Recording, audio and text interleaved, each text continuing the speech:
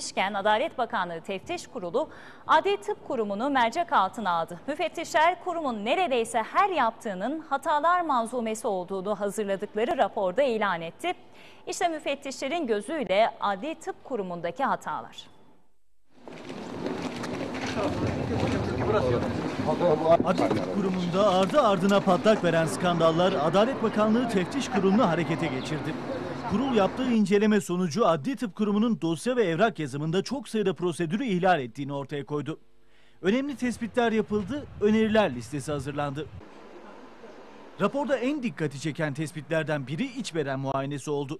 Kızlık zarı raporu, DNA testi, sperm kontrolü içerikli iç beden muayenesinin mağdurelerin rızasına yani iznine yönelik bir beyan tutanağı ya da imzası bulunmadan yapıldığı belirlendi.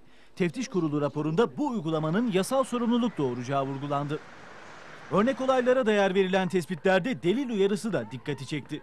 Cesetlerden hakim kararı olmaksızın kan örnekleri alındığını tespit eden müfettişler bu şekilde DNA analizi yapılmasını da usule aykırı buldu.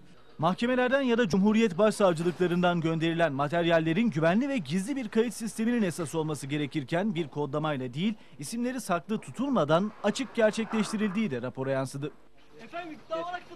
Dikkati çeken bir uyarı da zaman aşımı konusunda yapıldı. Zaman aşımı yaklaşmış olan evrak için öncelik uygulamasının yapılmadığı saptandı.